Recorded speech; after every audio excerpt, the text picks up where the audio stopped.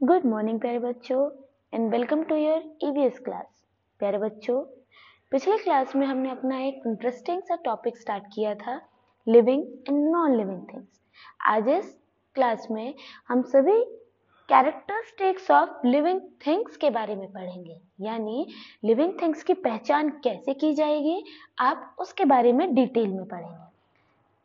So starting with the first point living things can move यानी living things move करती हैं।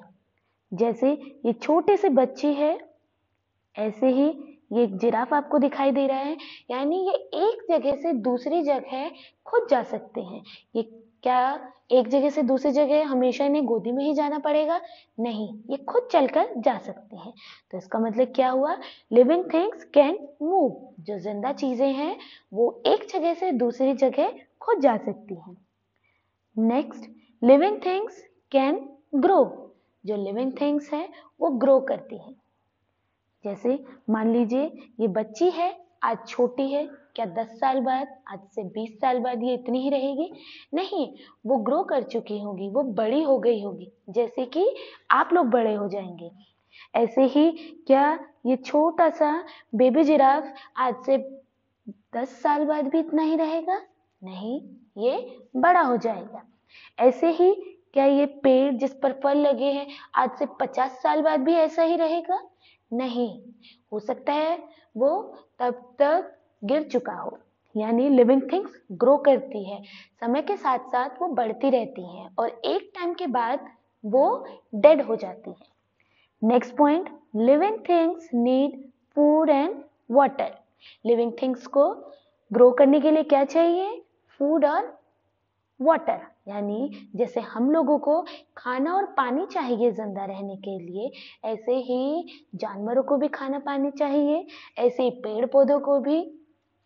पेड़ पौधे खुद ब खुद बना लेते हैं सनलाइट की मदद से। तो इसका मतलब क्या हुआ?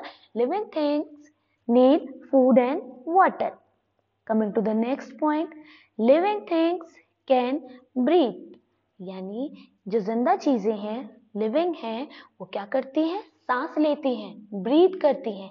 जैसे हम लोग सांस लेते हैं, जानवर सांस लेते हैं, पशु पक्षी जो होते हैं, वो भी सांस लेते हैं। तो ये सारी चीज़ें क्या है? ये लिविंग थिंग्स है। And the last one living things can reproduce इसका मतलब क्या है? लिविंग थिंग्स जो है, वो रिप्रोड्यूस करती हैं। कुछ केस में बच्चे दिए जाते हैं। जैसे इंसान बच्चों को जन्म देते हैं। ऐसे ही जानवर, कुछ जानवर बच्चों को जन्म देते हैं, जैसे गाय वगैरह, और वहीं कुछ अंडे देते हैं, जैसे कि सांप ठीक है तो इसका मतलब लिविंग थिंग्स क्या है? जन्म देते हैं। तो इसी के साथ आप इन पाँच पॉइंट से पहचान कर सकते हैं कि कोई चीज़ लिविंग है या नहीं। ठीक है, प्यारे बच्चों, सभी बच्चे इन पाँच पॉइंट्स को अपनी ईवीएस की नोटबुक में नोट करेंगे। See you in the next class with another interesting topic till then take care bye bye